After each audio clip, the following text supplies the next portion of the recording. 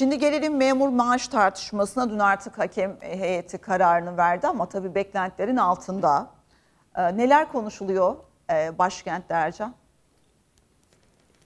E, memurlar açısından öyle. Beklentilerin altında gibi görünüyor. Yani sendikaların görevi de bu Gülden. Onlar beklentilerin de çok daha üzerine çıkması için çalışıyorlar. Bunu normal karşılamak lazım. Ama ben beklentilerin yani şahsi olarak düşünüyorum. Beklentilerin çok altında değil bence. Çünkü Ocak ayında memurların alacağı maaş refah payıyla bir, refah payı olmayacak ama enflasyon farkıyla Evet. birlikte en düşük memur maaşı 31 bin liralara çıkacak.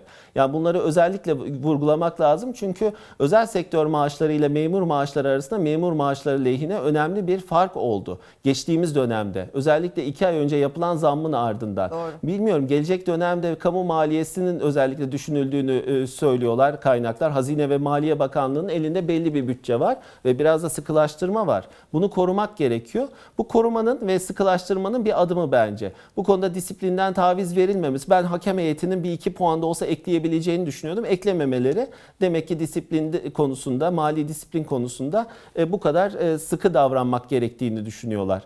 E, Bunu görebiliyoruz. E, Umudumuz şu, önümüzdeki dönem enflasyon düşer de biz böyle yüksek zamları konuşmak zorunda kalmayız Gülden. Doğru aslında yapılan oranlar kötü değil ama hep konuştuğumuz şey ne kadar büyük oranlarda e, iyileştirme yapılsın, zam yapılsın e, ama e, günlük hayat içerisinde o paranın eriyor olması e, en büyük sıkıntılardan birisi.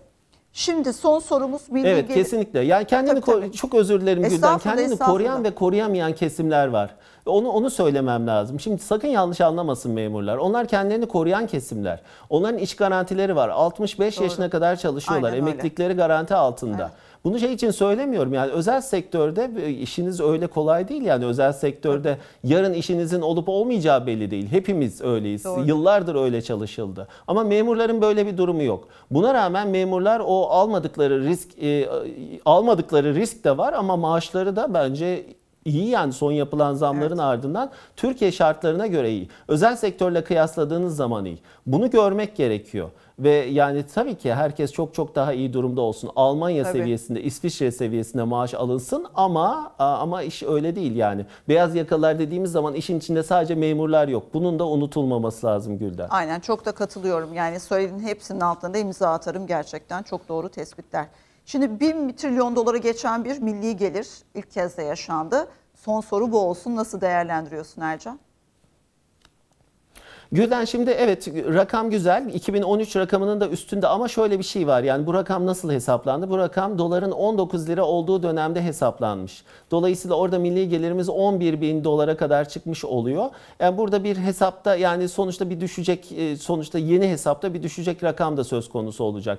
Bunu vurgulamak lazım. Ama her şeye rağmen Türkiye büyüme potansiyeli olan bir ülke. %3.8 3. çeyrekte büyüme gerçekleşti. Nüfus artış oranının 2 olduğunu göz önüne aldığımızda %1.8 daha fazla büyüme. Böylesi bir ortamda sıkılaştırma ortamında büyüme her zaman iyidir. Ama nasıl yapıldığını, nasıl olduğunu da gözetmek lazım. Biz ihracata dayalı büyümeyi e, hedeflemeliyiz. Ama bu son dönemdeki inşaata dayalı, e, dayalı daha çok ve makine ve teçhizat alımına dayalı. Bu iyi bir şey. Bu kötü bir şey değil makine ve teçhizat alımı. O tarz bir büyüme ama önümüzdeki süreç içerisinde Türkiye ihracata dayalı büyümek zorunda e, Gülden. Çünkü biraz dövize ihtiyacımız var. O döviz açığını kapatmamız gerekiyor. Bunun tedbirleri alınıyor zannediyorum.